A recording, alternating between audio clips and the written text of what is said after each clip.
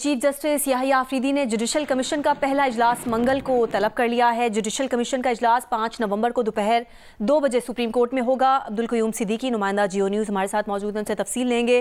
जी क्यूम। जी छब्बीसवीं आईनी तरमीम के बाद और chief justice, Pakistan justice Yahya Afridi की तकर्री उस तरमीम के बाद अब जुडिशल कमीशन ऑफ़ पाकिस्तान का इजलास जो है वो मंगल को तलब किया गया है। पाँच नवंबर को दो बजे ये इजलास होगा।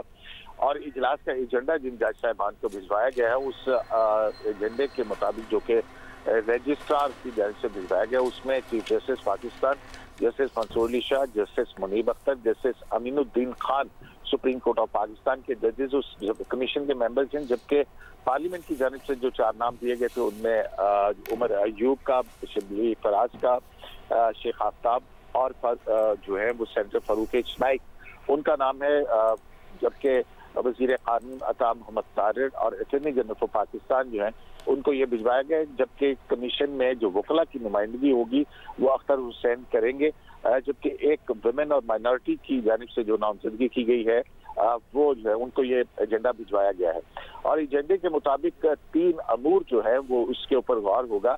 पहला जो है, वो तो ये है कि जुडिशल कमीशन ऑफ़ पाकिस्तान का सेक्रेटेरिएट कहाँ कायम किया जाएगा और दूसरा जो है, वो ये है कि आईनी बेंचों की तश्कील का मामला जो है, वो भी जेर गौर आएगा। उसके ऊपर भी आईनी बेंचों की तश्कील के हवाले से जुडिशल कमीशन ऑफ़ पाकिस्तान गौर करेगा।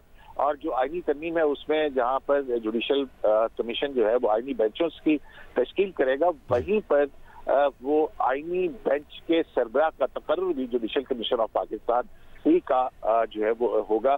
और एजेंडे में ये भी शामिल है कि कोई भी तीसरा जो मामला है वो चेयर की मंजूरी से उसके ऊपर गौर कॉस्ट होगा।